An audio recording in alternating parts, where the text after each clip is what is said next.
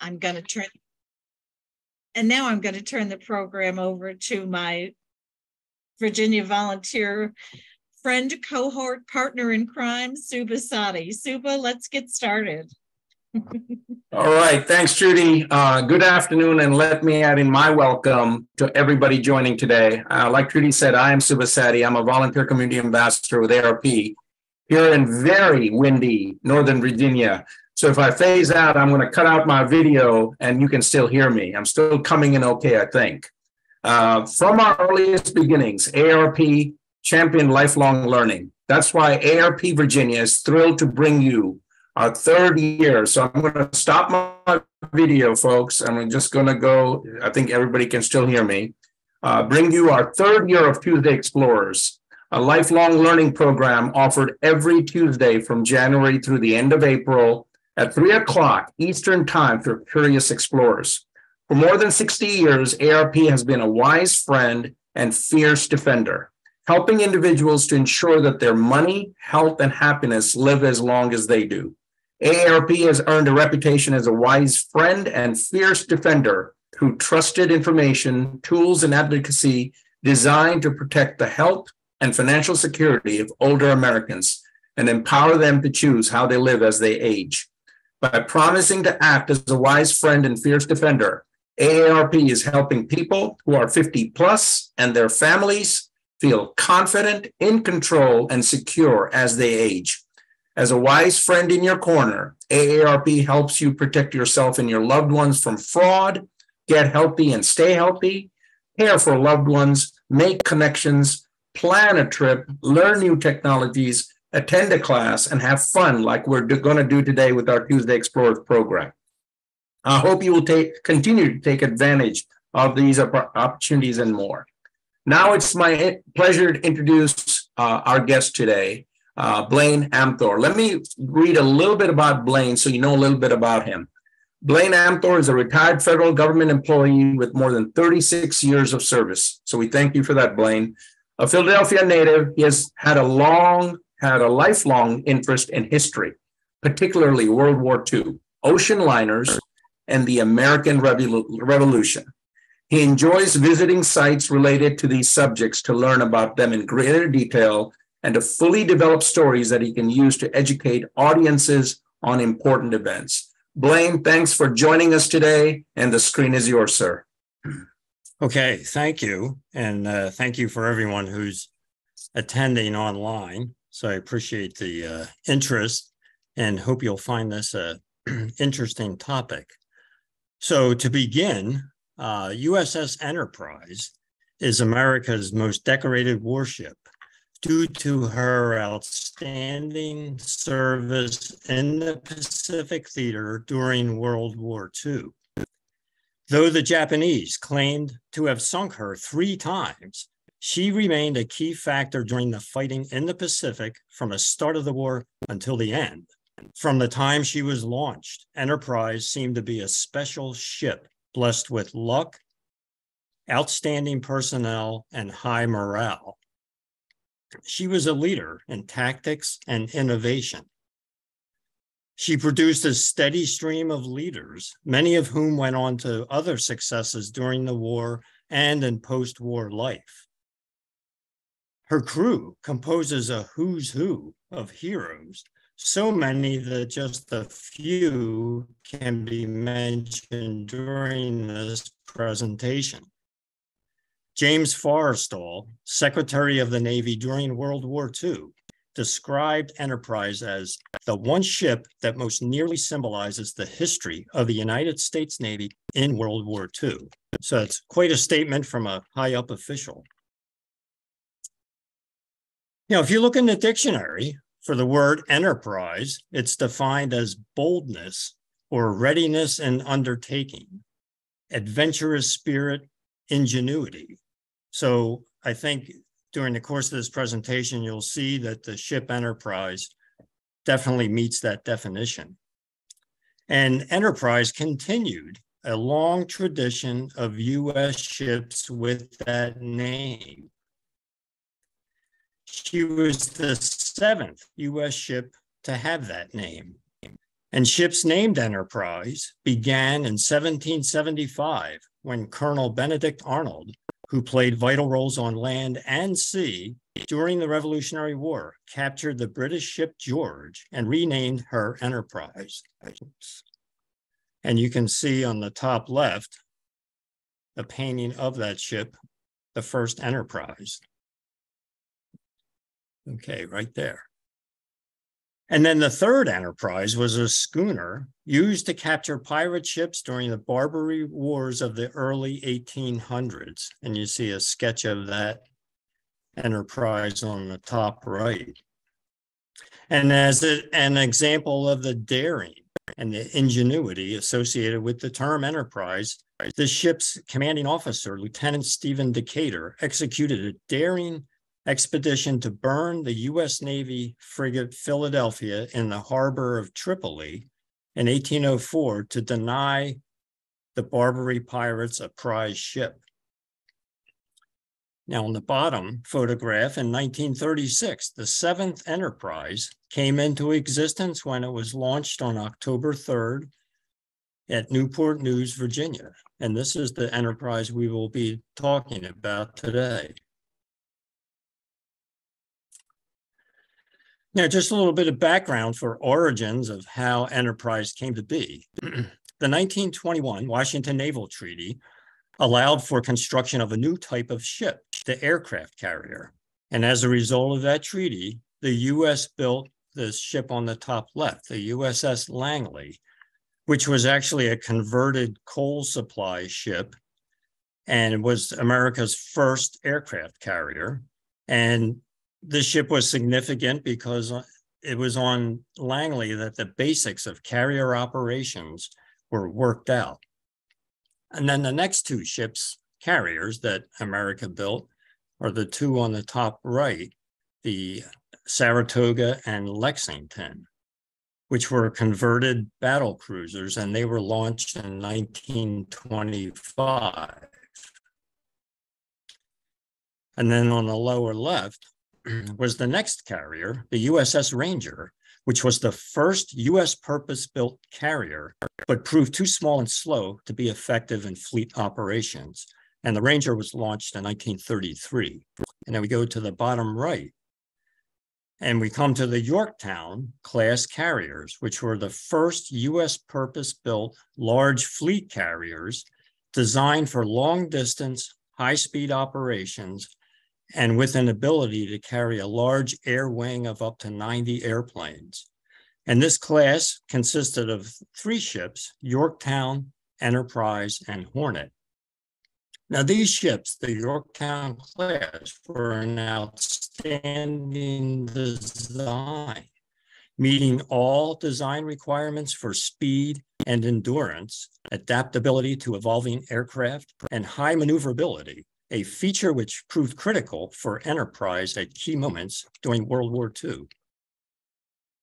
Now, a little bit about Enterprise itself. So just to give you an idea of the size of the ship, the length was 824 feet, 83 feet wide, and a total of about 25,000 tons. And she had a top speed of 32 and a half knots, which works out to be a little over 37 miles per hour and had a range of about 12,500 miles and a crew of about 2,500 during the war. And her air wing of up to 90 airplanes was divided among fighters, dive bombers, and torpedo bombers. And, and you can also see along here, there were three elevators on the flight deck, which connected to the hangar deck. So they were used to move aircraft up and down from the flight deck to the hangar deck. So these elevators actually will play part of the story that I'll tell you. Now, Enterprise was used in the filming of the 1941 movie Dive Bomber starring Errol Flynn and Fred MacMurray. And you see a poster for that on the left. Enterprise and her crew were loaned by the Navy for a week in spring of 1941 for filming with the movie featuring flight deck operations. And you can see some of those on the right. Enterprise was nicknamed the Big E. Now, this obviously represented the name Enterprise, but it also represented the coveted efficiency rating given by the Navy, representing a well run ship in various ranking categories. So, Enterprise received these E ratings for communications, engineering, and gunnery. In 1940, she set a fleet record for rapidly launching and recovering aircraft. She had many nicknames during World War II. She was also known as the Gray Ghost, the Galloping Ghost, and Lucky E. But the name the Biggie was the only one that ever really stuck. No matter the captain, Enterprise's crew was trained hard in realistic conditions, something that would benefit the ship in wartime. There was a tradition and expectation of teaching and passing along vital lessons and knowledge to younger or newer crewmen so that the ship's high standards would continue. Now, Pearl Har- um, Enterprise was at sea during the attack on Pearl Harbor on December 7, 1941. She was scheduled to have been in Pearl Harbor at the time of the attack after delivering 12 Marine fighter planes to Wake Island. However, her arrival was delayed by a storm. But Enterprise was close enough to Pearl Harbor to have begun the routine practice of flying off her squadrons of aircraft to land at their home base of Pearl Harbor. So these planes that Enterprise had flown off to return to Pearl Harbor actually arrived 30 minutes into the two hour attack, as well as during the evening of that day. And Enterprise su- sustained losses of nine aircraft and some crew. So that took place on the very first day of the war. Enterprise arrived at Pearl Harbor the night of December 8th and sailed early the next morning in search of the Japanese attack force. And she sunk the first Japanese ship of the war, submarine I 70, on December 10th. So, just three days in, after the attack, Enterprise was already playing a role in the war and making a name for herself and contributing to the war. Now, Enterprise went into action right at the start of the war. in January 1942, she participated in the raids on the Japanese base at Kwajalein Island. And then one month later, in February, she participated in an attack on Wake Island right up here, which the Japanese had captured in December of 1941. And then in April 1942, she participated in the Doolittle raid against Japan. Now, the, the Doolittle raid was the first strike against the Japanese mainland and showed Japan was not beyond the reach of the US. And it provided a much needed morale boost for the American home front during a period of many defeats. Now, on this mission, Enterprise served as the escort to aircraft carrier Hornet in order to provide air cover since Hornet was carrying the Army bombers on her deck and was un- unable to launch her own aircraft. The raid caused the Japanese to approve and expedite their Midway Island operation, which had been, up until that time, had been resisted by the Japanese High Command. This would prove to be a momentous decision in the course of the war and in Enterprise role in it. In it. Now we move on to the Battle of the Coral Sea, May of 1942. This was the first battle in history between aircraft carriers and the first in which neither fleet sighted the other. The Japanese sought to occupy Port Moresby here on the southeast part of Papua New Guinea, as well as uh, Tulagi, which is just north here of uh, the island of Guadalcanal in the Solomon Islands chain. Now, this was an effort by Japan to cut off the air and sea links between the US and our ally, Australia. This battle was a Japanese tactical victory because of the greater losses sustained by the US, but it was an American strategic victory because they stopped the Japanese expansion.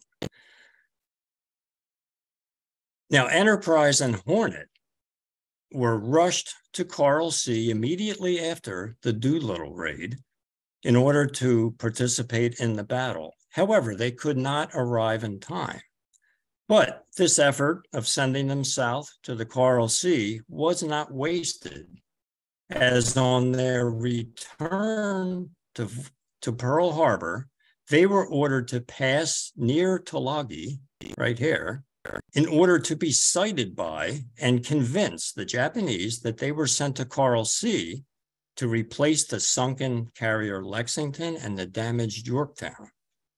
Now, this ruse succeeded, leading the Japanese to believe Midway would be undefended by US aircraft carriers when they attacked at Midway. Now we move on to the Battle of Midway, June 1942. After the Battle of the Coral Sea, Japan planned to attack the US base at Midway in order to consolidate its defensive perimeter, threaten Pearl Harbor, and draw out and eliminate the US fleet. And you can see Midway is actually near the end of the Hawaiian island chain. So they would not be very far from Pearl Harbor and could be, pose a threat to Pearl Harbor. Since the US had broken the Japanese naval code, it was aware of Japan's midway plans and stationed aircraft carriers Enterprise, Yorktown, and Hornet northeast of the island. At Midway, Enterprise played a crucial role in winning the battle and stepped to the forefront of the fighting through the actions of several of its crew.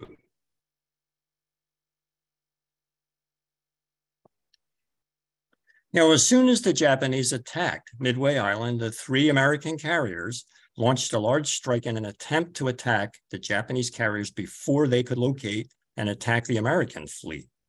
Due to miscommunications and launch delays, the American airplanes arrived at the Japanese fleet piecemeal.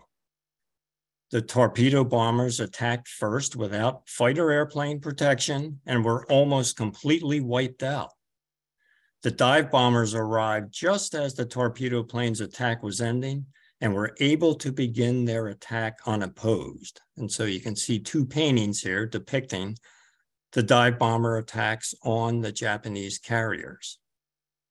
In just five minutes, they knocked out three of the four Japanese aircraft carriers, turning the tide of the Pacific War and avenging Pearl Harbor since these ships had launched that attack. Several Enterprise crewmen played a critical role in this attack and the battle's victory. Now we'll start with this gentleman on the top left, Wade McCluskey. He made one of the most critical decisions, not only of the battle, but of the war. When he arrived where the Japanese fleet was estimated to be, which was already at the fuel range limit of his squadron, it wasn't there. So he saw a single Japanese destroyer heading northeast at high speed and guessing it was rejoining the fleet, he followed it, found the Japanese fleet, and attacked. McCluskey's action changed the course of the Pacific War since the dive bombers he led destroyed three of the four carriers in five minutes. While escaping after his attack, McCluskey was hit and wounded, and his plane landed back on Enter- Enterprise with fewer than five gallons of gas and more than 55 bullet holes in it. He was awarded the Navy Cross for this action with unsuccessful later efforts to have it upgraded to the Medal of Honor. Later in the war, he commanded the escort carrier USS Corregidor, and he retired in 1956 as a rear admiral.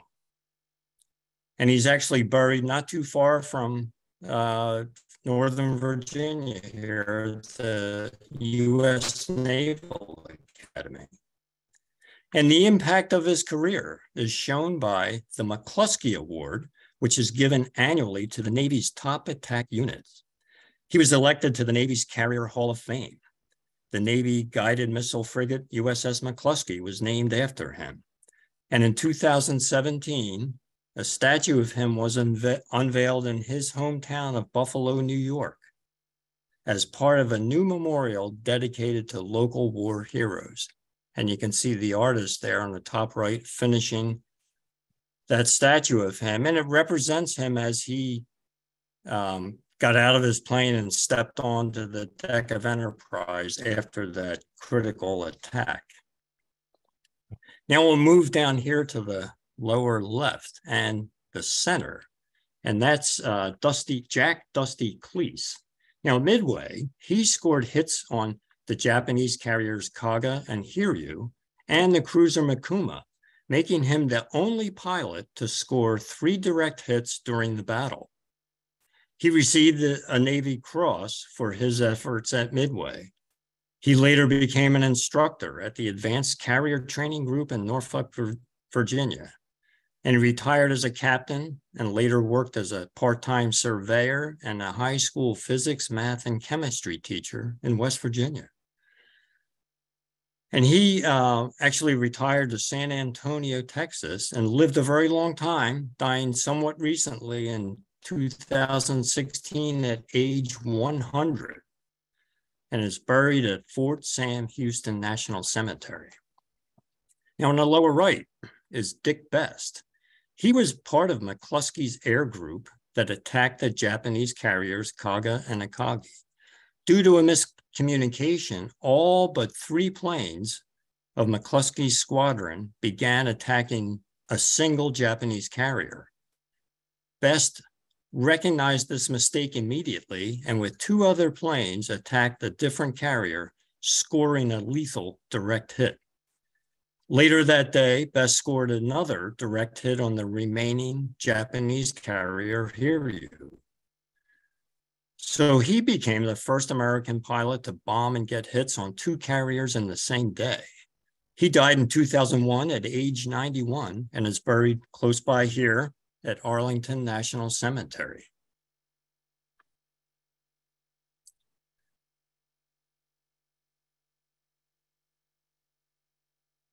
Okay, here we go.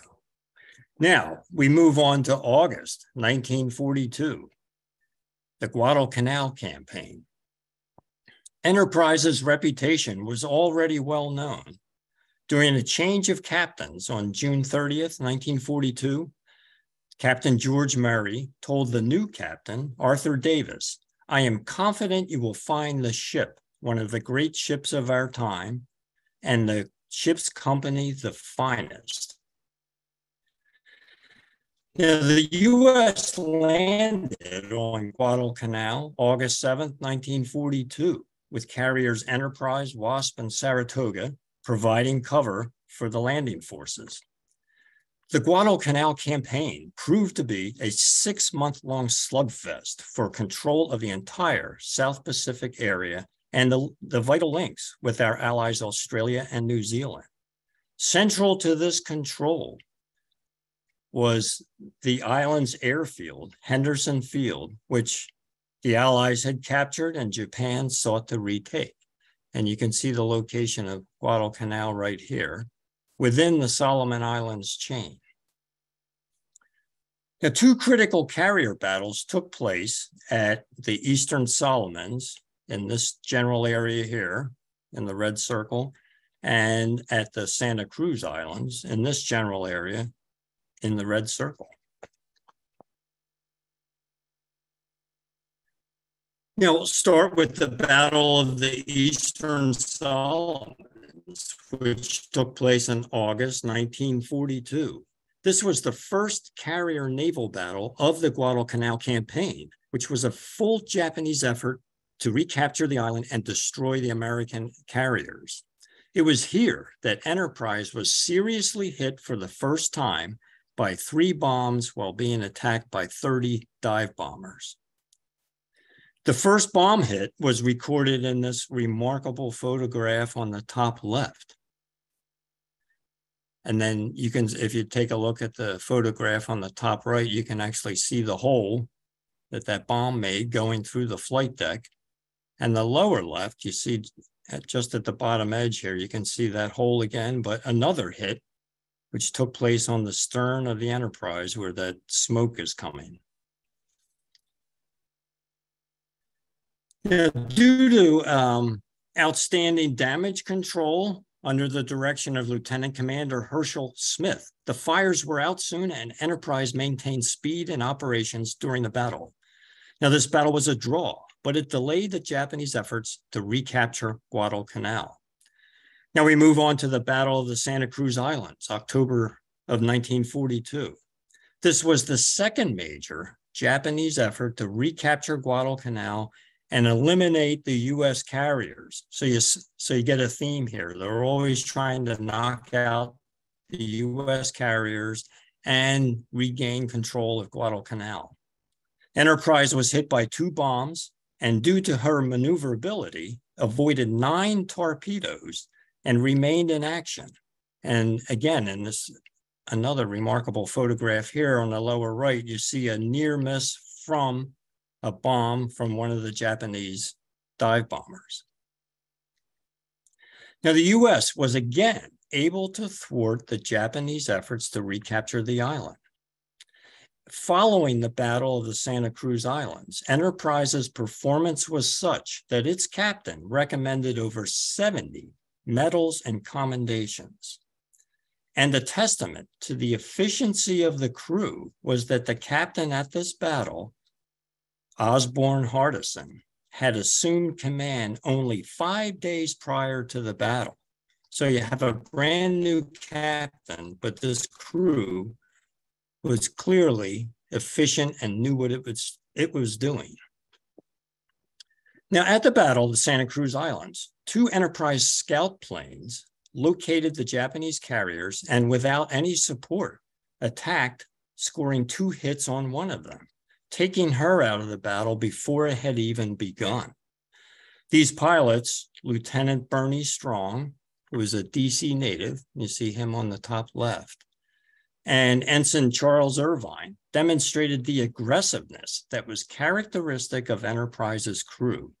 And they made good on a similar situation during the Battle of the Eastern Solomons when they had radioed the enemy's position but did not attack. And so this had always irked uh, Birney Strong because he had said after the Battle of the Eastern Solomons, if I ever find myself in that situation again, I'll attack. So just a couple of months later, he finds himself in the same situation and attacks and scores two hits on a carrier. Now, Strong fought the entire war on Enterprise and ended his Navy career with two Navy crosses the Distinguished Flying Cross, and 10 air medals. Another Enterprise hero is the gentleman on the lower left, who's Lieutenant Stanley Swede Vejtasa. At the Battle of the Coral Sea, when he was flying off the carrier Yorktown, he helped sink the Japanese carrier Shoho and shot down three Japanese fighters while piloting a dive bomber. Now, this was a remarkable feat because a dive bomber was not designed to engage Japanese fighters, but he managed to shoot down three of them. He then transferred to fighters on Enterprise because people realized, hey, this guy's a pretty good fighter pilot. So now he's part of the fighter squadron on Enterprise. And in one flight, he shot down seven Japanese planes attacking Enterprise at the Battle of the Santa Cruz Islands. He received the Navy Cross for each of those actions, becoming the only carrier pilot to receive this award for dive bombing and aerial combat. He later served in Korea and ended his career with over 700 carrier landings. He later commanded the Miramar Naval Air Station, the first home of the Top Gun School. And he was another person who lived a long life. He died in 2013 at the age of 98. Now we'll go over to the photo on the right and the gentleman in the foreground, who is Landing Signal Officer Robin Lindsey. Now, he managed to land all of Enterprise's airplanes at the Battle of the Santa Cruz Islands, despite the forward elevator being out of commission from one of the hits the ship took. And so that meant they weren't able to move the planes from the flight deck down to the hangar deck. So they kept pushing the planes to the front of the ship. So we managed to land all of Enterprise's airplanes and an additional 57 planes from the destroyed carrier Hornet. He also managed to bring those on board. And the last person to land that day was gentleman on the lower left, Swede Vejtasa. And he had to make a perfect landing in order to be able to stop without hitting the planes that were already parked on the deck. Now, Enterprise returned to Guadalcanal in November 1942.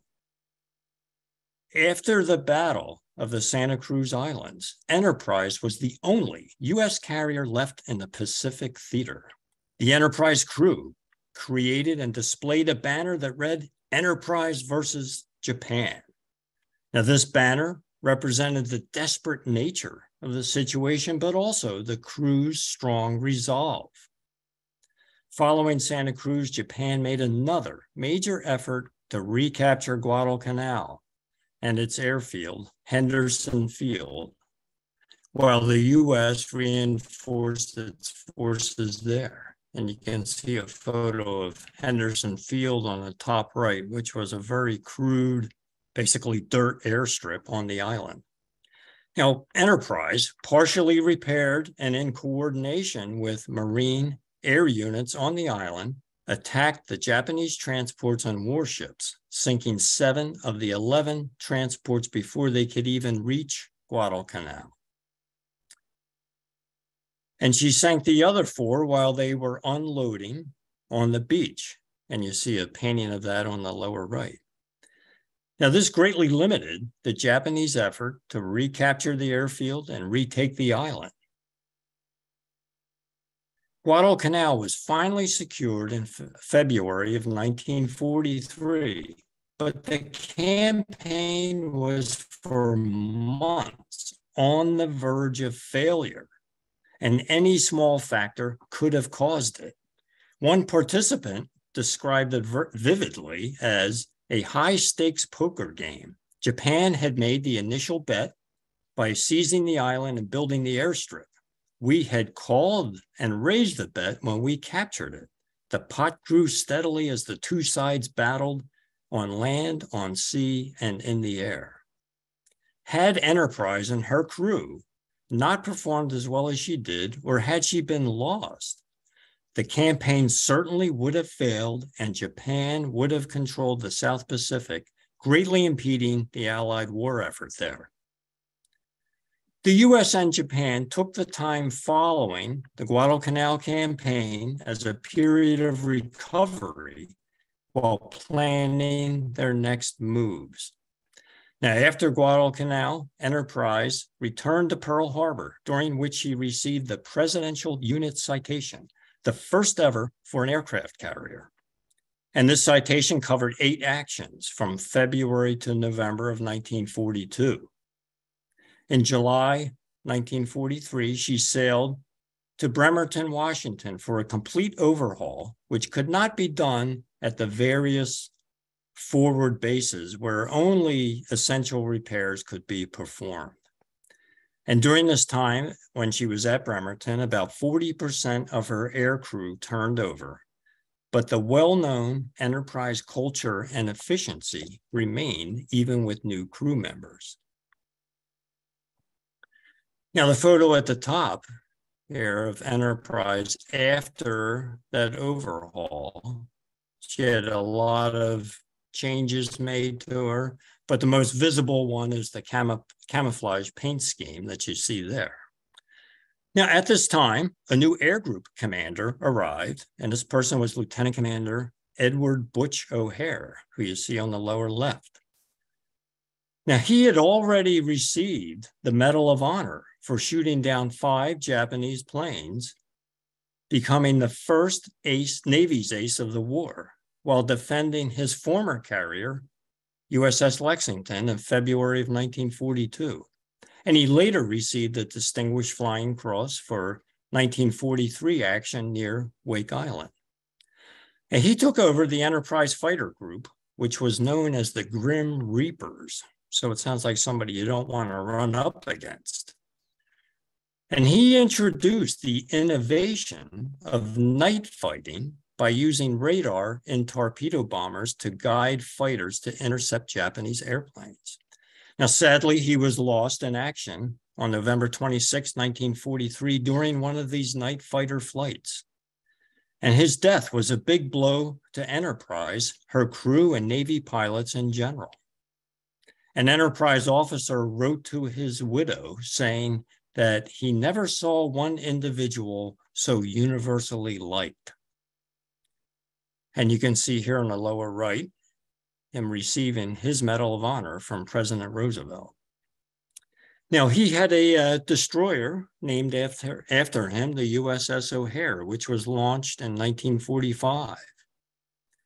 And if you've ever traveled across the country, chances are you've gone through Chicago's O'Hare Airport, which was named after him, even though he was born and raised in St. Louis and never lived in Chicago.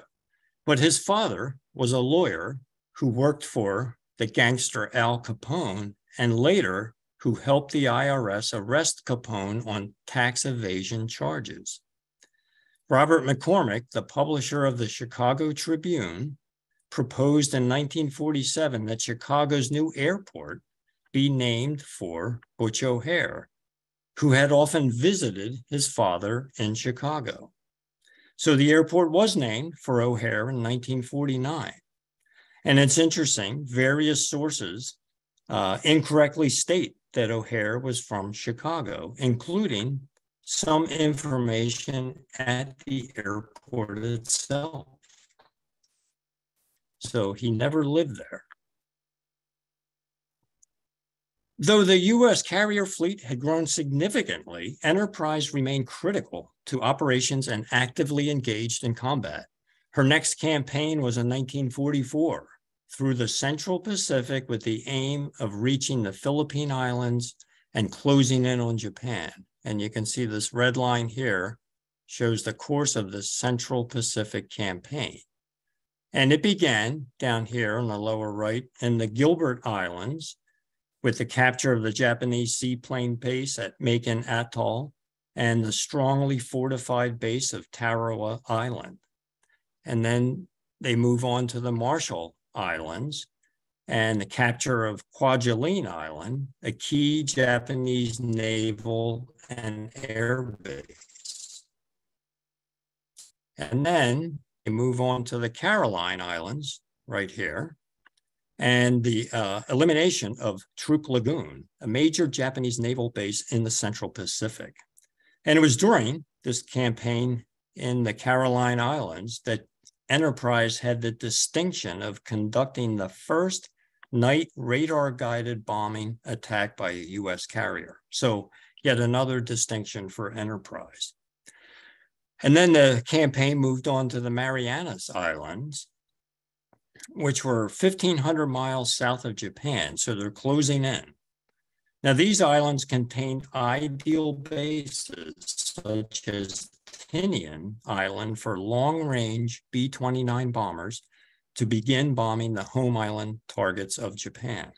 And then later on, it's actually off the screen here at this point, but the Battle of the Philippine Sea, which was the largest aircraft carrier battle in history, in, in which the US downed about 373 Japanese aircraft against a loss of just 29. And then later, the Battle of Leyte Gulf, which was the largest naval battle in history. And this took place during the landings at the Philippine Islands. Now, Enterprise helped sink the Japanese battleship Musashi, which was one of the two largest battleships ever built. And Enterprise is the only carrier to engage all three groups of Japanese naval forces during the battle. So another distinction for Enterprise. In February 1945, Enterprise began operating with other aircraft carriers in the seas off Japan, striking homeland targets. She supported the landings at Iwo Jima, keeping aircraft aloft for 174 consecutive hours, a feat unequaled during the war. While attacking the Japanese mainland, she was struck by a bomb in March of 1945. In April, she was damaged by a near miss by a kamikaze. After repairs and while operating off Okinawa, she was struck by a kamikaze on May 14th, destroying her forward elevator. The force of the impact and explosion threw part of the 15 ton elevator 400 feet into the air. And again, you can see this, that elevator piece right here in this remarkable photograph and the explosion from the kamikaze hit. Now, this damage forced Enterprise to return to Bremerton, Washington for repairs. As she was preparing to sail for Pearl Harbor after completion of the repairs, Japan surrendered and the war ended. However, she sailed to Pearl Harbor and began participation in Operation Magic Carpet, the military's effort to return home servicemen as quickly as possible. Now, she returned 1,100 personnel on this initial Operation Magic Carpet trip. And you can see they packed in as many troops as they could. And you can see a photo here of this five high standy bunks, right? And then on the right, now this is not Enterprise, this is Saratoga, but you can see some of those troops on deck getting some air, but they were putting as many people as they could on these ships to return them home as quickly as possible. So after completion of this initial Operation Magic Carpet voyage, she sailed to New York and was a star in the Navy Day celebrations on October 27, 1945 receiving more than 250,000 visitors. So people knew Enterprise through the reporting throughout the course of the war, newspapers, radio accounts, things like that. And people wanted to see her. Operation Magic Carpet continued with Enterprise sailing between Europe and the US. She returned more than 10,000 veterans during several voyages. Upon arriving in the US on Christmas Eve, 1945, after a Magic Carpet voyage, Enterprise received a call on Christmas Day from a home for orphan boys stating that they had no hope for a Merry Christmas and asking if the Big E could help. A meal and a party were quickly planned and for 140 boys. And according to accounts, it was difficult to tell if the boys or the crew had more fun. On one trip, Enterprise was boarded in England by the British First Lord of the Admiralty, Sir Albert Alexander, who presented the ship with a British Admiralty pennant. This was presented as a token of respect from an ally. Enterprise is the only ship outside the Royal Navy ever to have received this more than 400 year old pennant. So again, another distinction for enterprise.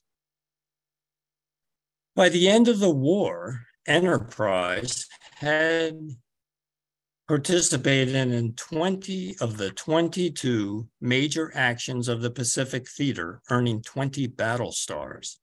Her planes and guns downed 911 enemy aircraft. Her bomber sank 71 ships and damaged or destroyed 192 more. Though hit 16 times, she was the only carrier to serve during the entire war. And she received the Navy Unit Commendation and the Presidential Unit Citation. And 50 years after the war ended, she received another award, the Task Force 16 Citation, in May of 1995. And this recognized Enterprise's participation in the Doolittle raid of 1942. In a ceremony at the Pentagon, attended by more than 100 Task Force 16 veterans. Due to larger, more advanced carriers and aircraft, Enterprise was considered obsolete and was decommissioned at New York Naval, Naval Shipyard on February 17th, 1947. and you can see her, this top left photo, her docked at the New York Naval Yard. And on the right is her hangar deck with a, uh, on the bulkhead there, an accounting of her actions. But this area right here is the presidential unit citation that she received. She was briefly considered for specialized roles such as, a, as an anti-submarine command ship, but nothing came of these ideas. Several efforts to save Enterprise failed, including one led by Admiral Bill Halsey, one of the men most associated with the ship. And you can see a sketch below here on the left of Enterprise and Admiral Halsey. Sadly, the ship that was Halsey's flagship during the critical first year of the war and was a flagship for many other admirals throughout the fighting in the Pacific Theater could not be saved. She was sold for scrap in 1958 and was gone by 1960. And you can see on the lower right a photo of her being scrapped. However, some parts of enterprise remain, such as the top left here, one of her anchors, which is at the Washington, D.C. Navy Yard. And next to it is the ship's bell, which is at the U.S. Naval Academy in front of Bancroft Hall, the huge dormitory there. And the bell is rung when Navy beats Army in football. And then on the next to that one on the top right, you have the stern plate of Enterprise, which is in River Vale, New Jersey, in a veterans park. And then uh, if you right below that, have circled in yellow here, Enterprise's tripod mast was to have topped the elevator tower at the um, Naval Academy Stadium, but this never happened. And then we move to the lower left here, and there's a permanent exhibit to Enterprise at the National Museum of Naval Aviation in Pensacola, Florida. And you can see it contains a large model of Enterprise. But in the background there, you'll see an American flag. And this is the flag that was flown during the Battle of the Santa Cruz Islands and which was presented to Landing Signal Officer Robin Lindsey for his exemplary performance that day landing all those airplanes on the deck without the ability to move them down to the hangar deck. For many years, it was thought that this was the only surviving flag.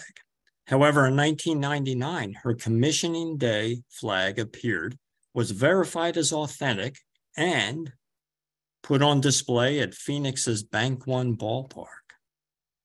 And recently, in June 2018, the National Museum of the Pacific War in Fredericksburg, Texas, received the flag of Enterprise's Torpedo Squadron 10, which was known as the Buzzard Brigade. And there was even a uh, TV series about Enterprise. History Channel's Battle 360 depicts the ship's career and features interviews with many of its crew members. Now, this series was sponsored by this company right down here in the lower right, Enterprise Rent-A-Car. Many of you probably recognize that logo. So you may wonder, is there a relationship? Well, there certainly is, because Enterprise Rent-A-Car Company was is named after the ship because its founder, Jack Taylor, was a fighter pilot on Enterprise and gives his experience on the ship much credit for forming his character. And he said, I was a callow youth when I joined the Navy, and I came out of it with more confidence and feeling that I was going to live a happy life and do the right thing. Now, as I mentioned at the start of the presentation, Enterprise was the seventh Navy ship to bear that name.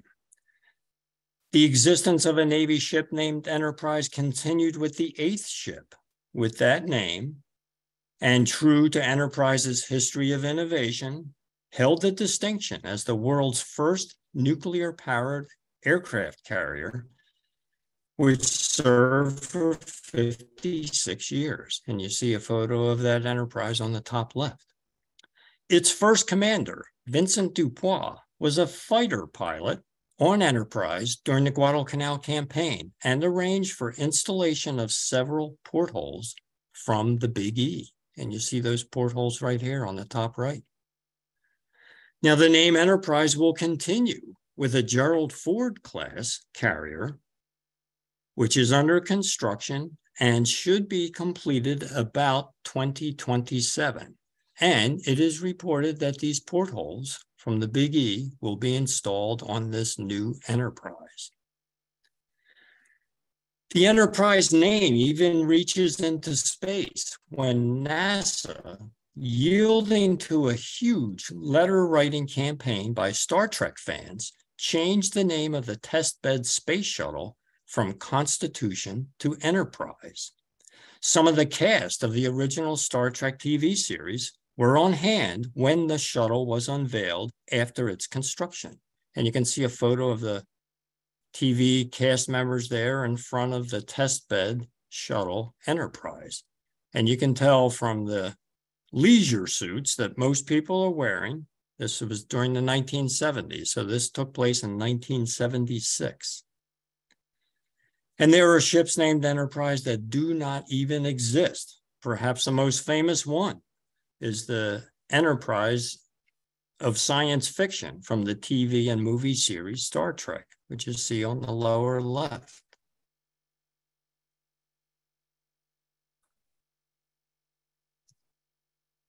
Now, USS Enterprise seemed to be destined for greatness and achieved it during the world's largest war.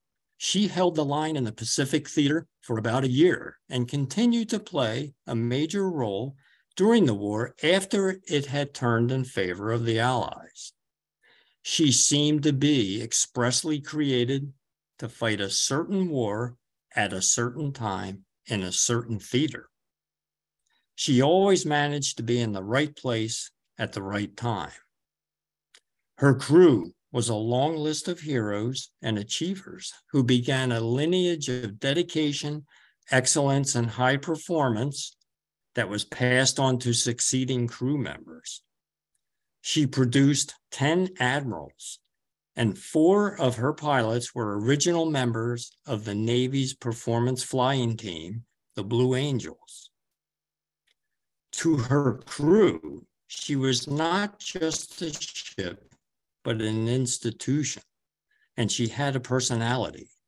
Her performance was such that it ensured that her name would be passed on to new ships with the expectation that they live up to her standards. Though Enterprise no longer exists, her remarkable performance earned her the gratefulness of our nation and places her in the pantheon of legendary ships. And that's the end of the presentation. So any questions people have, I will attempt to answer them for you. Blane, you were so thorough in this program. So far, I have no questions in either the chat or the Q&A, but we'll give it a couple minutes to see if any show up. But lots of good comments Okay. saying, saying thank you. I do see one individual has a raised hand in webinar format. We cannot um, acknowledge the raised hand format. So Arlene, if you could put your question or comment in the chat or the Q and A box, we'll do our best to get to it. But we're getting lots of, of thank yous and great job, Blane, as usual. Oh, okay. Yeah, Blane has presented to us before. Amazing presentation, really enjoyed it.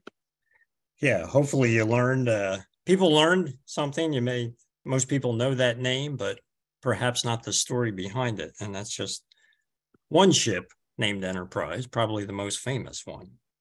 Yeah, I'm scrolling back because one of our guests had a comment about about uh, the enterprise, and I'm trying to see if I can get back to it. Okay. Um, oh, I see it. I see it now. This individual buried my father at sea on the USS Enterprise just before the turn of the century. It was a great closure for this individual and a fitting ceremony for their father, who spent so many years in the Navy and aboard aircraft carriers. Hmm. So I'm sure he was impressed and said he was looking forward to this presentation. Okay. Wow. Very interesting Yeah. story. Okay, so I do have one question for you, Blane, and that is, what is the superstition about renaming ships with the same name? Oh, well, um, sometimes, well, I don't know. It's just one of those sailor superstitions that uh, if one ship is perhaps unlucky to name another ship the same name, the bad luck will continue. But also if it's, um, you know, a lucky ship like Enterprise was, that perhaps the, the new ship, the luck will run out on that one. So it's just a sailor superstition. Yeah.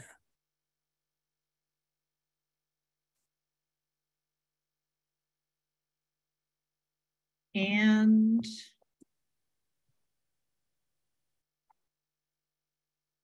that is all the questions I have. Um, Suba, are you still with us or did the wind knock you out? No, I'm here. Okay. I'm here. My video is actually working and hopefully it'll work in my parting uh, comments. Okay, I don't think I have any additional questions. So Suba, I'm going to turn the program back over to you. Um, just with a lot of thanks and um, how much everyone appreciated this presentation, Blane. Thank you. Suba, I'll turn it you're back to you. Yep. Thanks, Trudy. Uh, yeah, Blane, my thanks as well. Very thorough presentation like you always do. And that's a common thing in the military. We don't like to name things over and over again. That is a common, that's in the Air Force as, as well. So, yeah, but again, I'd like to thank you uh, for sharing your valuable time and knowledge. Uh, one thing I learned from today's presentation, Blane, that uh, I didn't realize the Japanese had claimed that it sunk the Enterprise uh, three times. So that was interesting. Yeah. Uh, but folks, um, we'd love to get your feedback on today's program and ideas for future programs. In the chat box, you'll see a link to a survey. Please click on the link and take a few moments to share your feedback with us. We'll also send this link in a follow-up email later today. On Tuesday, Explorer programs will continue next week, and we invite you to join us. Uh, please look at, uh, of course, uh, uh, Trudy already put that out, but I'll, I'll shout it out again. It's www.aarp.org forward slash Tuesday Explorer. And we invite you back next week. Uh, Jim Lewis is going to be presenting uh, the CIA's biggest heist. So it'll be on next Tuesday, 3 p.m. Eastern Standard Time for another great presentation as part of Tuesday Explorers. In, in a chat box, you'll also see a link to register for our upcoming programs, and that is www.aarp.org forward slash virtual VA. So until next time, we encourage you to stay curious and keep exploring. And again, thank you from all of us for uh, uh, from AARP for joining us today. Thank you, guys. Thank you so much. Thank you.